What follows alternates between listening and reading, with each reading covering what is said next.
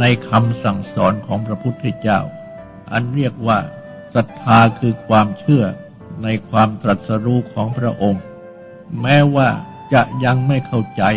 เพราะยังไม่ได้ปฏิบัติให้ได้ให้ถึง ยังไม่ได้ญาณหรือปัญญา ยังไม่ได้บรรลุถึงมรรคผลนิพพาน อันเป็นโลกุตตรธรรม แต่ก็ต้องใช้วิจารณญาณ คือความพิจารณาให้เกิดความอย่างรู้ไปโดยลำดับตามเหตุและผล ย่อมจะทำให้ได้ความรู้ความเข้าใจอันถูกต้อง อันเป็นตัวปัญญาไปโดยลำดับ